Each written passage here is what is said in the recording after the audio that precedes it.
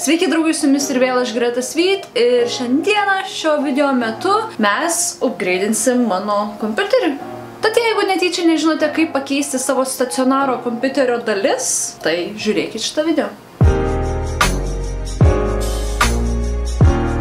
Na, bet visų pirma pasikeiskim aprangą, nes niekas, taip sakant, nekeičia kompiuterio detalių su suknele. Nu va, dabar jau pasiruošę. Pirmin į darbelį.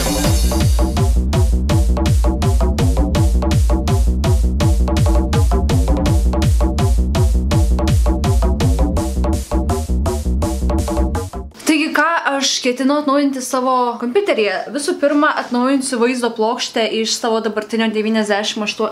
90... Ravioli, ravioli. What's in the pocket only?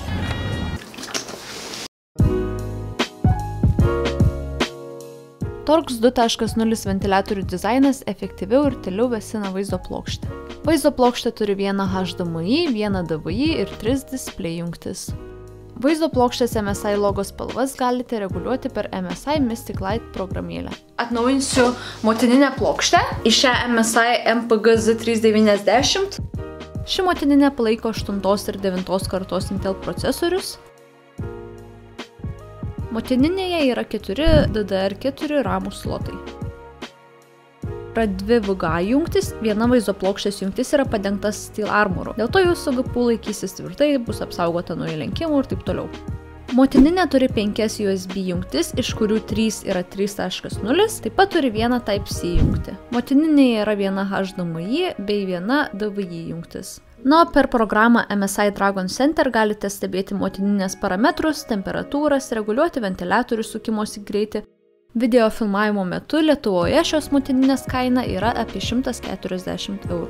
Taip pat keičiu savo senąjį procesorių į 74790K į naująjį į 78700K. Šiuo metu turėjau užsidėjus 12 GB ramų ir upgradeinu šitą skaičių į 16. Visų pirma, jeigu planuojate keisti motininę plokštę savo kompiuteryje, tai nepamirškite įsisaugoti savo svarbiausių dalykų iš to disko, į kurį rašinėsite Windowsus. Aš šiuo atveju turiu tiek SSD, tiek HDD ir Windowsus įrašinėsiu į SSD, todėl viską viską išsisaugojau, kas yra svarbiausia iš būtent šio disko. Tad nepamirškite to, nes po to prarasit visus savo svarbiausius failus. Kodėl rozetės turi būti ant žemės? Nu ir vardakas.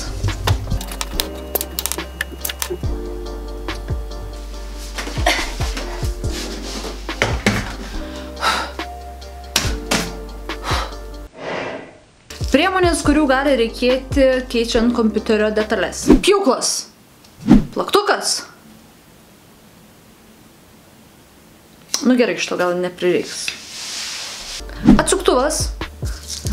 Antistatinė apyrankė arba jeigu neturit antistatinės apyrankės, tai tiesiog statika gali nusimti palietę kokį nors žemintą objektą. Na ir dar greičiausiai reikės servetėlių ar kokių ausų krapštukų, termopastai nuvalyti, galbūt kažkur dulkėm. Tiesiog turėkit, dėl visą piktų. Štai taip atrodo mano kompiuterio nugarėlė, kurios praktiškai niekada nematau, nes jinai būna visą laiką užsukta į sieną. Na visų pirma, reikėtų be abejo pradėti nuo keiso atidarimo. Turbūt šito dalyko nereikėjo sakyti ir galiu pasakyti tiek, kad mano kompiuteris yra baisiai, baisiai dulkėtas. Tai jaučiuos ganėtinai apleidusi savo kompiuterį. Cable management.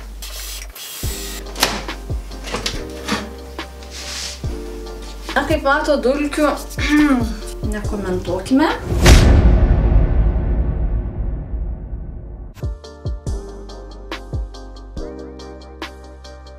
Taip pat nepamirškit viso šito PC buildingo, detalių gridinimo ir taip toliau metu visus savo varščiukus ir, ir ne tik gražiai rušiuoti, kad po to kad po to nepasimestų. Kol kas atjungiau šiek tiek klaidų, prie kitų prieimas yra ganėtinai sudėtingas, mažai vietos, todėl išimsiu keletą kompiuterio komponentų ir darbelį pratesim toliau. Guys, look at that.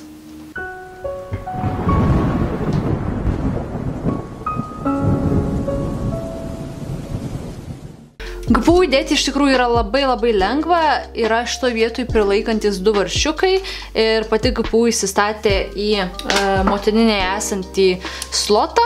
Dabar atsuksime tuos du varšiukus ir gražiai ištrauksime vaizdo plokštę. Nepamirškite tvarkingai susidėti visų varšiukų. Taip pat kaip ir ramuose, taip ir čia GPU yra toksai lyg ir mygtukas, kuris atlaisvina GPU iš savo slotų. Ate, ate 980 Ti. Taip pat dabar galime ir iš motinės plokštės ištraukti korpuso feno laidą. Dabar išimsiu kompiuterio ramus, čia taip pat paspaudžiam šitus mygtukus, kurie atlaisvina ramus iš abiejų pusių ir tada juos ištrauksim. Labai labai lengvai. Tadam.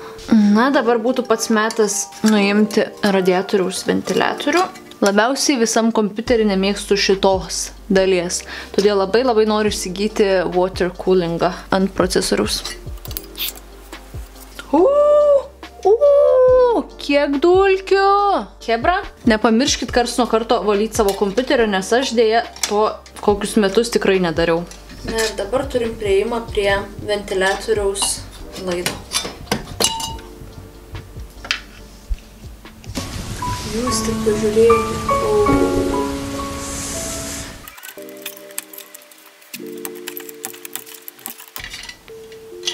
Planuojate naudoti tą patį CPU aušintuvo radiatorių, tai buvusią termopastą nuvalykite su ausų krapštuku. Galima ištraukti ir SSD, kuris yra įdėtas labai durnam spote, kai galėjo būti ir įdėtas čia. Galima išimti CPU laidą ir motininės plokštės laidą, kurių prieš tai neišėmiau, bei įvairius kompiuterio korpuso laidus. Visi laidai ištraukti, dabar reikia atsukti motininę ir ištrauksim iš PC korpuso.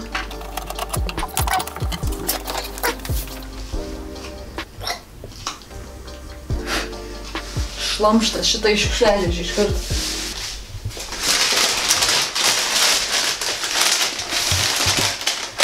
Kadangi motininė yra šiek tiek per didelė mano keisui, tai reikės visus šitus laidus ištraukti ir įkišti per kitą vietą, tai greičiausiai per čia. O. Šito reikės. Uh, metalinis. Kartu su mano keisu atėjo ir visokių varštukai, kurių gali prireiti tam, kam dabar man jų reikia. Tai kadangi šitą MSI motininė plokštė turi tvirtinimo skirių daugiau negu mano senoji, tai mes tiesiog tas vadinamas šponkės prisisuksime į kompiuterio korpusą ir prie jo pritvirtinsime motininę.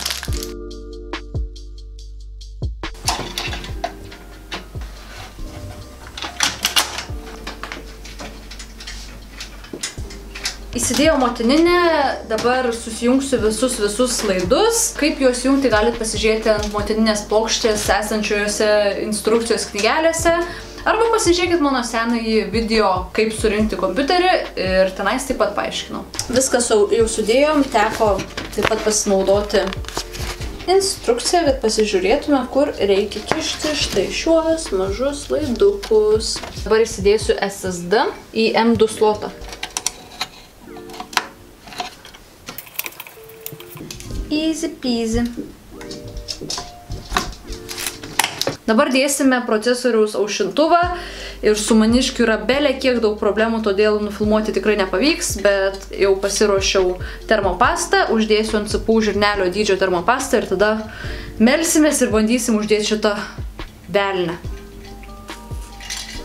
Mums pavyko su šito dalyko pagalba. Šiaip netaip įsidėjom aušintuvą, all good, baisiausias jau praėjo ir dabar įsidėsime 1070 Ti vaizdo plokštę. Huh. Pirmą reikia apsaugas nuimti. Pirmą kišam į skylę, pataikiau. 2020 vision.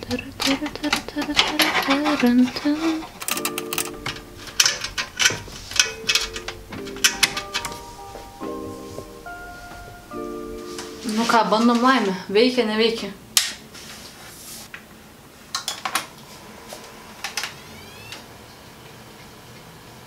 kaip garsiai ūžia. Ok, visiškai viskas veikia, dabar tiesiog gale šiek tiek cable management bandysiu padaryti ir taip pat pačioje pabaigoje video numesiu 3D marker rezultatus savo šito subildinto kompiuteriaus.